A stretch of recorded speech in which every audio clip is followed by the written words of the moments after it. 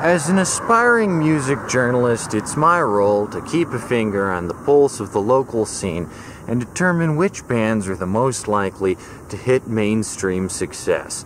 I think I found a band that has a ton of potential, and tonight I'm going to have the opportunity to interview them at their first ever live show. Needless to say, I'm very excited about this prospect, and I think you'll be interested by what I'm about to ask this band, Belladonna, one of Denver's top acts. So stay tuned, and we're going to hear an interview for it in just a sec here. But first, I've got to make my way across Denver all the way out to Lakewood to get to this place.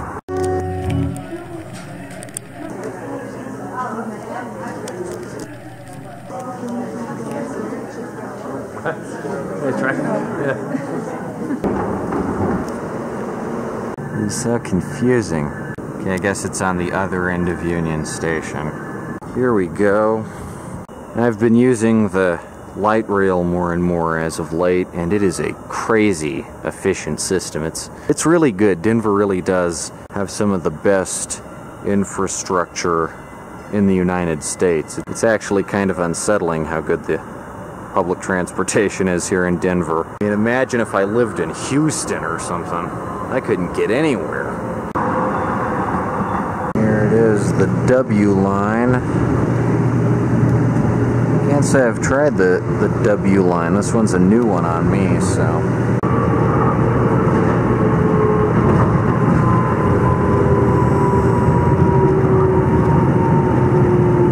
Alright, here we are out in Lakewood, the middle of nowhere. Got to walk about six blocks to get to the show, but this should be pretty fast here. I really like this wall here. I had no idea Lakewood was so wacky and eclectic and whoa. Dinosaurs. When I heard this was going to be Belladonna's first ever concert, I knew I had to pop up. I mean, just imagine the exclusivity of that. Now, as of right now, I'm sold out of Nick Sequeira's greatest hits on cassette, but I have one copy left, and if Belladonna is willing to answer my questions tonight, then they'll win that copy. So that's pretty snazzy, wouldn't you say? Just a few blocks away at this point, I think I can see it way up in the distance there. Sometimes the best live music can only be found way, way, way out. Way out here in Lakewood. Oh, here we go. A sign for live music Saturday and Sunday. I like this sign. What's that? Like a like a needle, like a bike pump? I guess it's like an IV. Live, like the the I is pumping life into the V there. Well, if if that ain't something, am I right? All right, then here we are. Okay, so we're out here, out here with Belladonna. Hi. Hello. Mack and Rach, right? Rachel, yeah. How'd you get started as a band? We were in this class. It's called General Recital. It was student networking day. We said, fuck this. This is terrible. I'm not meeting anyone I care about. And then we get to the end of it, and Rachel's like, hi, I'm Rachel. And I'm like, hi, I'm Mack. And she's like, jam sesh after this, right now. Come to it if you want to. I don't even know who you are. Just come to the jam. And I was like, okay. And then I was the only one that showed up. And then we said, let's be a band. I'll maybe add some detail to that. Um, we met through school, uh, and then Mack came to a recording session that Josh and I had. We were going to work on a different song with Josh on drums.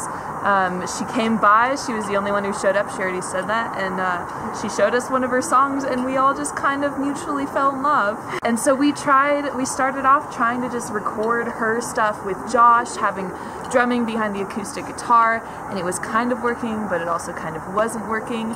And honestly, I'm not really sure when we got to the point where it was like, oh, we should do a band and we need an electric guitar in here. I don't remember either. I think it was definitely after um, she showed Overdose to Josh. I wasn't there for this, and he was obsessed. And he showed me the next day. We were like, okay, I guess we start jamming together. Yeah.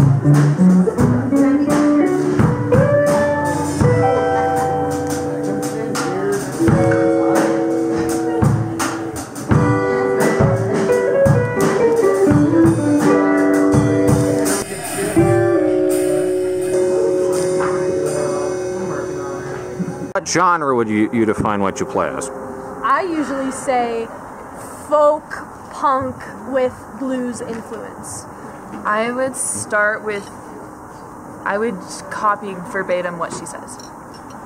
Folk punk, folk punk with what influence? Blues. Blues. Blues influence. I, I, I catch the blues in there definitely. Lots of blues, On some songs more than others. Definitely. for sure. Why, why that genre in particular? What draws you to, to folk and punk? Are raised in a society where that's the music that changed the country that we have, and it's, you know, you grow up and you listen to. We're just a, an accumulation of all of the different influences that we've had, and then trying to put our own spirit and our own, like, the energy of our trio into all of that. Um, it's not why do you choose this, it's just we start writing songs and that's what they come out as. I was gonna say, I hate labels, and I have a strong sense of identity, and I think that this music encompasses the like the colors and the sound of my identity as a person. But turns out identity doesn't really match with labels and fit inside boxes. So that's why we Turns have out. a genre that has three genres in it. Folk having revolutionized the 1960s and punk having revolutionized the 1980s, you kind of get the best of both worlds, you'd say? Yes. Yeah, and theoretically, it's it's so hard to do something new with music today without going into. I mean, you could we can go into the kind of stuff that you make, Nick, definitely. But if you want to be original with music, you're kind of out of luck. So at this point, just taking all of these beautiful influences and trying to combine them is, I think, it's a good way to start. It's a good way to get going and get mm-hmm. kind of our contemporary voice out, Yeah. living in a very strange world where, like, if punk hadn't occurred in the 80s and like swept the nation it would be happening now because of the hmm. disenfranchisement of, of suburbia youth so it would be the same story over again we're repeating history I think you're on the cutting edge. I mean, I can't really name right too many songs that sound like yours. They all sound very good. That's like the best compliment ever.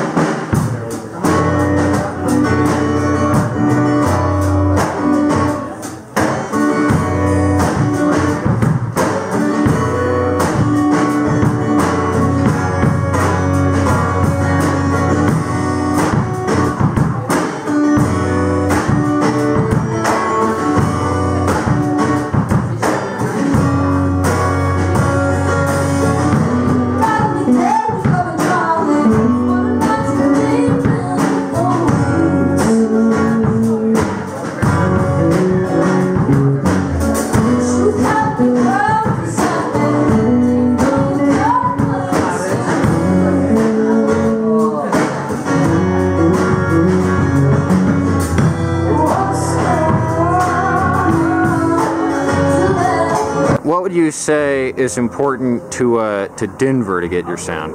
Like, why did we choose Denver? Uh, how would Denver benefit from your sound?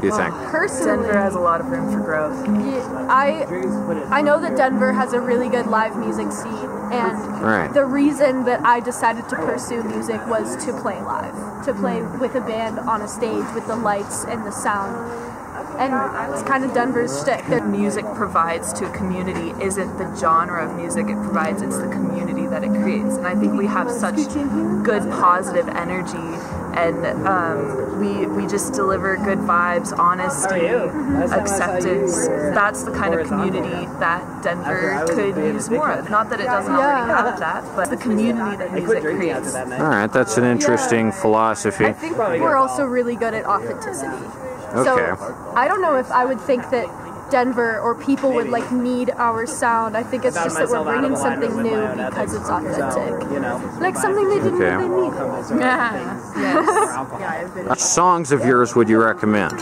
all of them Wh- Which is your favorite? Would say. OD has got to be my favorite. Control Still. is a close second. Love Me is really fun. Love Me is probably my favorite, um, but but it's so close with Control. I think Control is the song that I play where I just start smiling and get into my zone. I feel so confident, That makes sense. on it. Yeah. Yeah.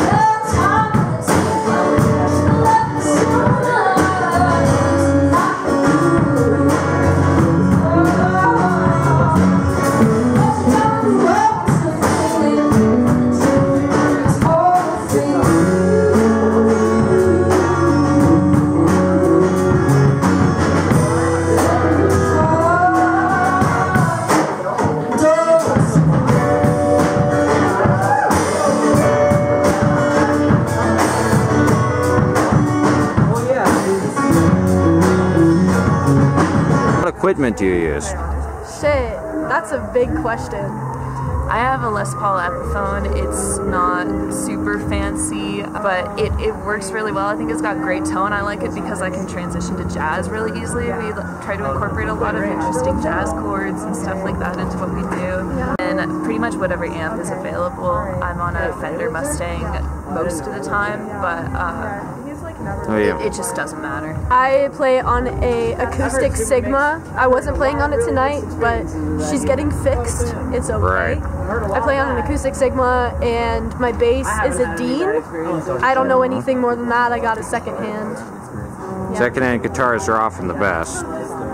Strongly agree. Yeah, totally. And They- my, they can my surprise guitar you. is second hand too. They can surprise you The with story quality. is Yes. the character. I Oh, yeah. personify my instrument Oh, so much. I'm just like, what have you been through? Yeah.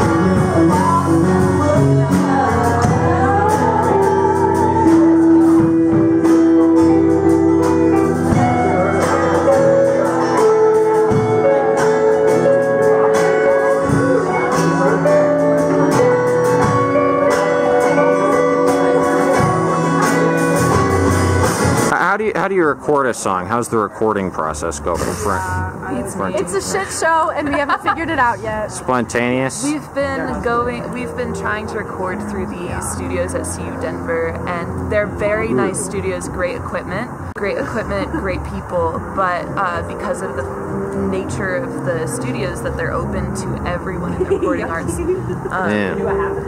program, they're never consistent. We, every time we're going in, it's a new battle. It's a new some wire has been crossed, and now the whole thing doesn't work. So mm-hmm. all of our recording endeavors have been very frustrating so far. I think at this point, what we want to do is just just find someone to do it for us, basically. Want to get want to get a, a better, more focused studio. Exactly. Yeah. Exactly. I think the process would be mostly live. I think we um, we work so well together as a band when we're all playing together. That's where our energy comes from. So I think recording live and then doing any overdubs that are needed would be the way to go. You work you work better live than in a studio. Ooh. Yeah, live as opposed to like overdubbing. I just, I don't know anything about producing, and I love playing live. So I think it works great for You me. just like the live Because I don't know what the fuck I'm doing over there. And this is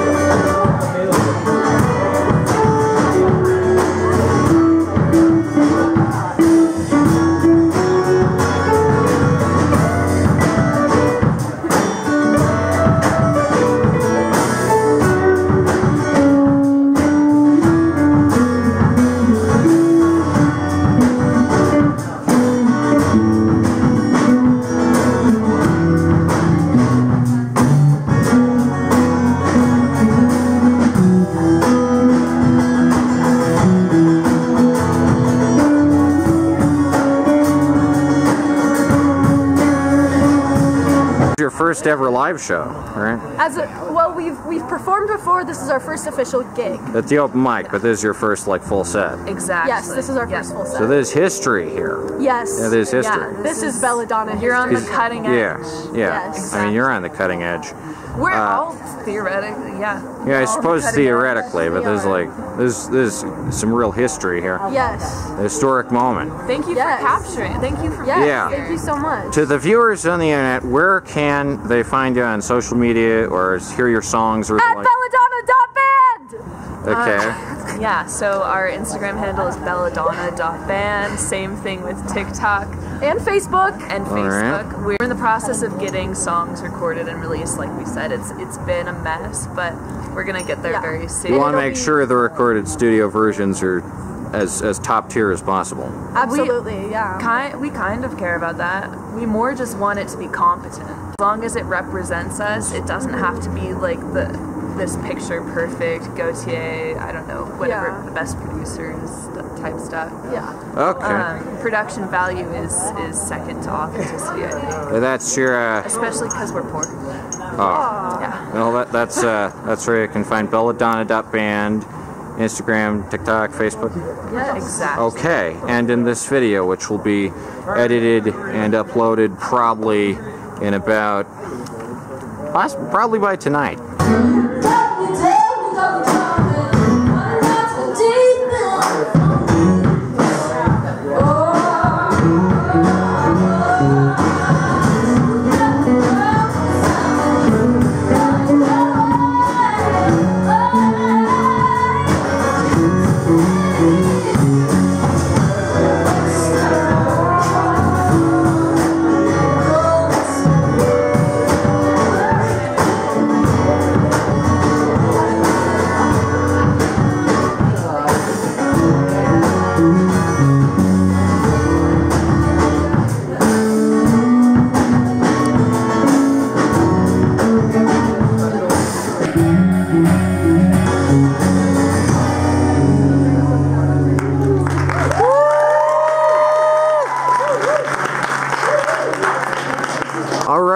People.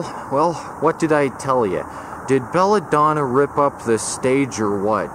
I'm in some kind of warehouse labyrinth here, out in the middle of nowhere, in Lakewood, Colorado. There is a pretty impressive crowd, all of whom had come out to see Belladonna, one of Denver's top-notch, cutting-edge bands who's gonna revolutionize the music game. It's it's really great music, and uh, if you live in the Denver area, I highly recommend coming out to see Belladonna live because they tear up the stage. They go insano mode on it. Anyway, that's it for this little music vlog, this little this little music interview thing, and I have no idea where I am. Lakewood is crazy. Better get back to Denver. Anyway, that's it for this video. Ooh, green. I feel like I'm in the machinist right now. Or the fly or something. Watch out. It's gonna gonna get gonna get fly gonna get flied.